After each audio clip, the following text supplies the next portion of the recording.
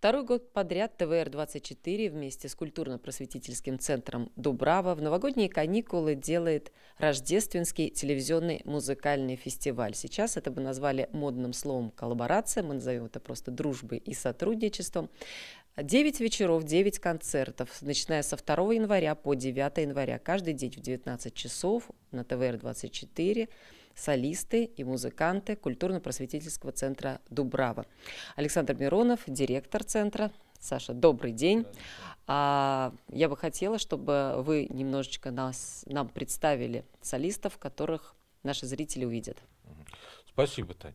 Да, мне тоже слово коллаборация как-то не очень понятно. Какое-то оно не русское.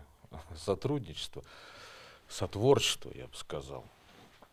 Сотворчество это, мне кажется, для Сергея Посада нормальный процесс. Мы как-то все сотрудничаем совершенно в разных областях, но уж точно думаем друг о друге.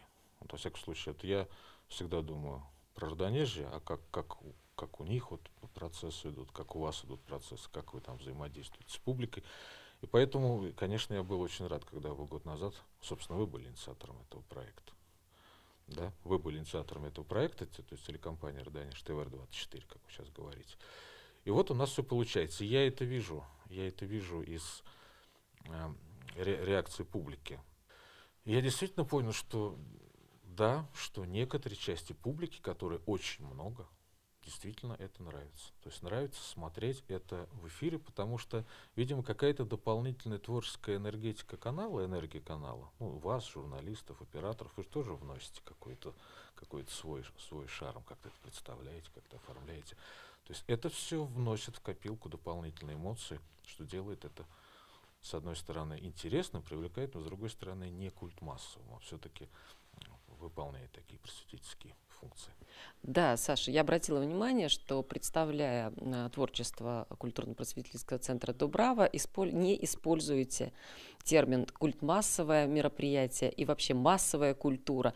Вы себя относите к нишевой. Собственно, хотела бы так э, немножко бы к этому делу приобщиться, потому что мы, э, телеканал Родонижа, тоже считаем телеканалом нишевым, направленным именно на аудиторию Сергеева Посада, то есть интересным для жителя этого города, который знает что-то уже об этом городе и хочет знать больше, в том числе и о культуре, которая у нас есть. Я сейчас скажу, здесь очень просто. Э, тема культ, культ массы, вообще культ массовой культуры, массовой культуры, правильно назовем, она такая очень широкая, но принцип там очень простой.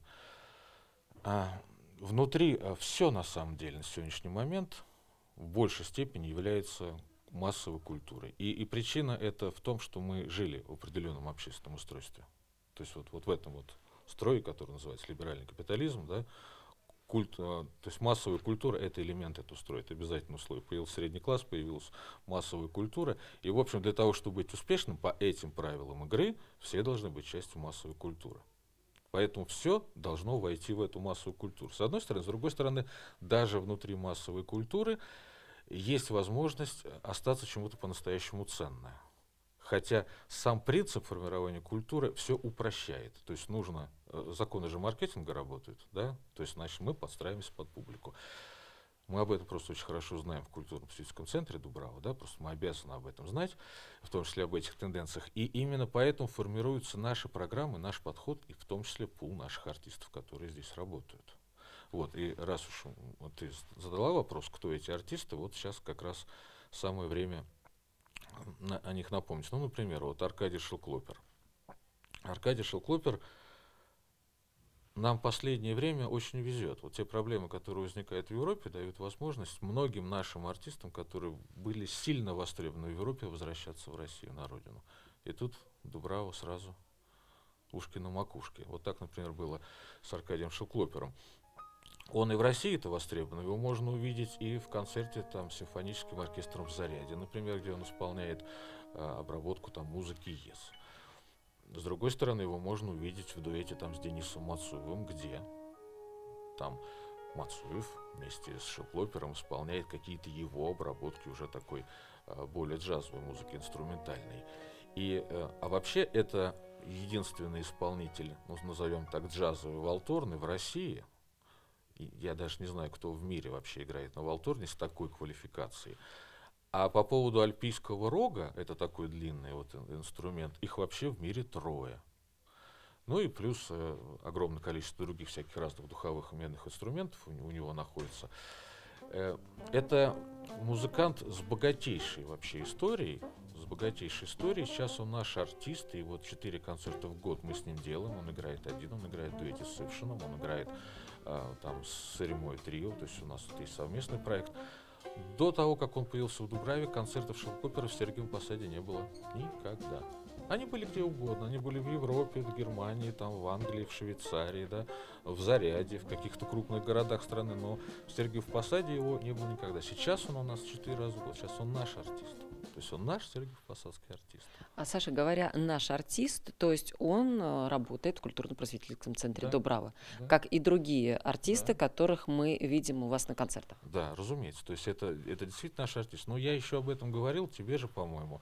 А, когда мы обсуждали последний фестиваль «Дубрава музыка». То есть 16 концертов, которые мы провели, созданы силами наших артистов. То есть это люди либо живут в этом городе, либо они здесь работают. Идем дальше? Да, давайте. Да. Ну, Алексей Алексеевич Кузнецов. Ну, ну, что о нем еще можно сказать? Это гитара, которая играет 17 мгновений весны. То есть это музыкант, который прошел через основные э, государственные оркестры, ну, оркестр кинематографии, то есть вся гитара в, в советском кинематографе это Алексей Кузнецов. С одной стороны, с другой стороны, это одна из икон советского джаза. Одна из икон советского джаза. Он, э, он наш артист. Мы, мы дружим с Алексеем Алексеевичем. Он как бы отвечает за узкое джазовое направление. Если, если Аркадий Шеклопер это все-таки музыкант, его трудно назвать джазовым. Это все-таки музыкант такой мультикультурный. Мультикультурный, по, по, по своей основе то он все-таки больше музыкант академический то есть он больше вот любит играть по нотам, скажем, скажем так, то Алексей Алексеевич это, это безусловно, джаз-джаз, как мы называем, да. Вот э, Алексей Алексеевич не просто здесь работает, но и еще привозит к нам плеяду самых э, успешных, самых как бы перспективных джазовых гитаристов Москвы. То есть э, вот даже на, на, на, на концерте, который мы с вами увидим в рамках телевизионного фестиваля, мы увидим его бенефис к 80-летию, мы в этом году отметили 80-летие, где выступает вместе с ним два его ученика. То есть Алексей Алексеевич оставляет за собой вот хорошую такую команду, которая это дело будет продолжать многие-многие годы. Вот тоже по поводу Алексея Алексеевича. Он был у нас в Сергием Посаде, в, наверное, в далекие нулевые, на фестивале, который когда-то сделал Сергей Персианов. И все. А у нас он регулярно артиста, всегда его можно видеть. Новое имя, которое появится и в телевизионном фестивале, и концерты у вас начались этого а, солиста недавно, это Антон, по-моему, Ярославский. Да. Антон Ярославский. Это джазовое исполнение. Антон Ярославский – это исключительно такая русская история. А в России появление самородка – это нормально. Русский народ непобедим, потому что его, конечно, нужно образовывать, безусловно, да, но даже если его не образовывать, то все равно земля русская даст какого-то самородка. Вот таким, собственно, является и Антон Ярославский. Вот мы говорим про синергию. Иногда вот эта синергия, объединение, сотворчество происходит благодаря нашим как бы, усилиям, когда мы этого хотим, мы об этом думаем, мы друг друга знаем. А иногда вот происходит в прямом смысле по воле промысла, ну, судьбы, как хотите это называйте. Антон Ярославский, молодой еще человек, который появился совершенно случайно, ну, как бы в нашем поле зрения, и первый свой джазовый концерт исполнил в Дубраве в рамках вот летнего фестиваля. Это был первый его концерт. Это даже не джаз, это американская популярная музыка, американская, ну, Фрэнк Синатра. И это было настолько удивительно, удивительно самим фактом того, что это, это редкий жанр. То есть подобно, а он немножко не наш, немножко не, все-таки мы привыкли там к Обзону, вот к, к такого формата музыкантам. Поэтому у нас в принципе в стране за всю историю э, таких артистов были единицы на пальцах одной руки.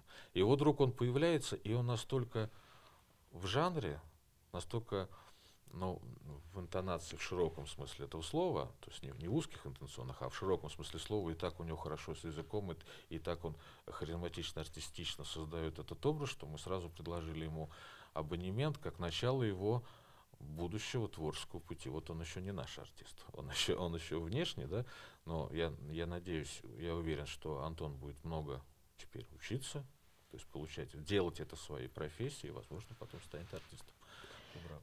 Если мы с вами уже делали совместные музыкальные проекты, в этот Новый год мы добавляем к ним еще цикл музыкальных просветительских лекций. А, историк Олег Устинов рассказывает о композиторах разных эпох, разных народов. Александр, ты, ты аккомпанируешь. Да? А, у нас это пойдет впервые. А, для аудитории я скажу, что в 19 часов каждый день в новогодние праздники будет начинаться концерт, а в 21 час это уже лекция музыкальная музыкальное. И э, для нас это новое, для вас это уже привычное. А как у вас э, родился этот жанр и насколько он тоже интересен? Мне очень нравится этот формат. Он возник буквально э, спонтанно.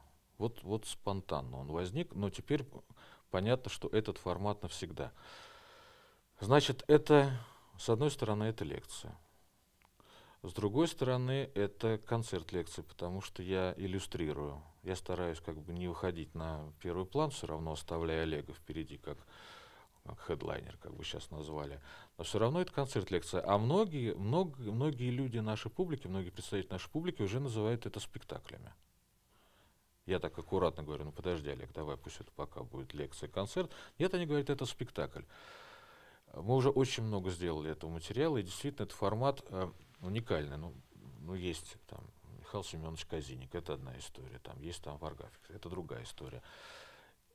Действительно, Дубрава создала, и мы, главное, сделали очень много этих программ, уже больше 20. Вот вы увидите 8, и они, э, собственно, посвящены ну, как бы всей плеяде самых выдающихся музыкантов, от классиков, от Баха, кончая там советским пианистом, песенником. Мне очень понравилась лекция про Пахмутова.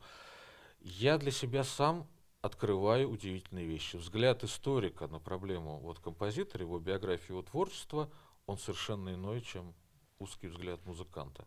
Вот сейчас мы делаем концерты Свиридове, вот, вот сегодня буквально мы, он не войдет в наш фестиваль, но, может быть, войдет следующий. И даже такая тема Свиридова, в общем, понятно, изучена, для меня была настолько интересна. Так что я вот предлагаю, вот это точно не культ масс. Вот это точно вот просветительский проект, причем правильный, который на, нас относит ну, к настоящим ценностям, которых мы уже забываем. А, Александр, хочу в конце нашего разговора небольшое, не знаю, напутствие на будущий год от Дубравы, от музыкантов нашей аудитории. У меня напутствие, Таня, всегда создано уже давным-давно. Слушайте больше хорошей музыки и будьте счастливы. Потому что ну, как-нибудь нам надо говорить вообще о том, что такое музыка. Ведь у нас даже э, само понятие, ну, искусство, искусство, ну, одно из искусств. Нет, далеко не одно из искусств. Если музыка вот очищена от тех проблем, которые связаны с массовой культурой, то в музыке есть совершенно сильнейший, мощнейший инструмент, который человека успокоит, человека настроит на развитие и на созидание, что особенно важно сейчас.